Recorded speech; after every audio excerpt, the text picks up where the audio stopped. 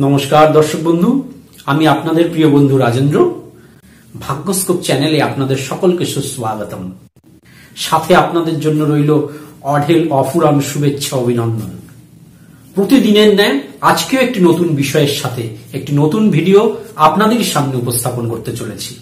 আমার সাথে সব সময় যোগাযোগ রাখতে নিচের ফেসবুক পেজটি লাইক করুন এবং ফলো করুন।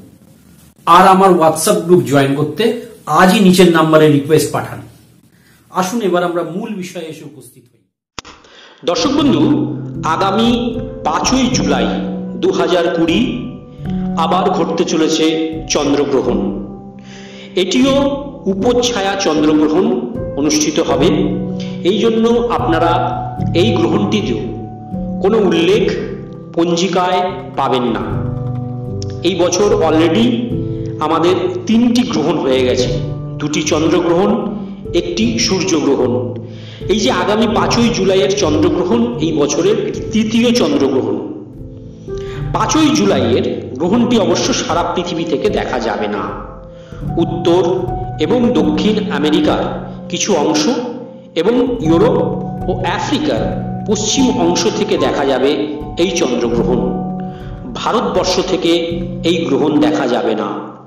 কারণ যে সময়ে এই গ্রহণটি হবে ভারতবর্ষে তখন দিন, অর্থাৎ আমাদের দেশে এই গ্রহণটি শুরু হবে পাঁচই জুলাই সকাল আটটা তিরিশ মিনিট থেকে। গ্রহণের সর্বাধিক প্রভাব পড়বে নটা উনষট মিনিটে।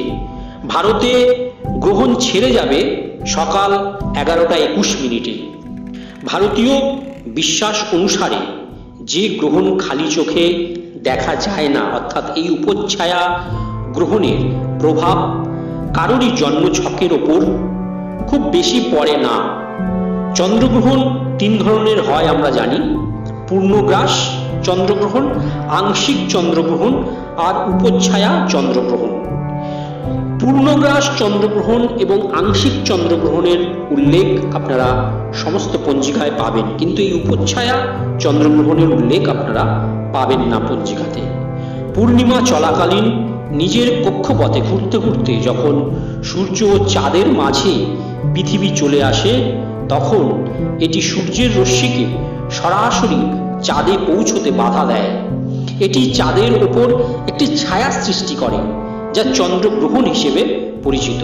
সূর্য, পৃথিবী এবং চাঁদ অসম্পূর্ণভাবে একত্রিত হয়, তখনই এই উপচ্ছায়া চন্দ্রগ্রহণ ঘটে। দর্শক বন্ধু পরবর্তী ভিডিওতে আমরা নিয়ে আসব যে এই চন্দ্রগ্রহণের প্রভাব আমাদের যে রাশিচক্রের উপর কতটুকু পড়বে বা কোন কোন রাশির ওপর বিশেষ করে পড়বে, সেগুলো নিয়ে আমি একটা ভিডিও আলাদা করে বানাবো। আপনারা পরবর্তী ভিডিওর দিকে লক্ষ্য রাখুন। এখানেই ভিডিওটি আমি শেষ করছি। আগামী ভিডিওতে আবার নতুন কোনো বিষয় নিয়ে আপনাদের সামনে উপস্থিত হব। ততক্ষণ পর্যন্ত আপনারা খুব ভালো থাকুন, সুস্থ থাকুন, আনন্দে থাকুন। জয় গুরু।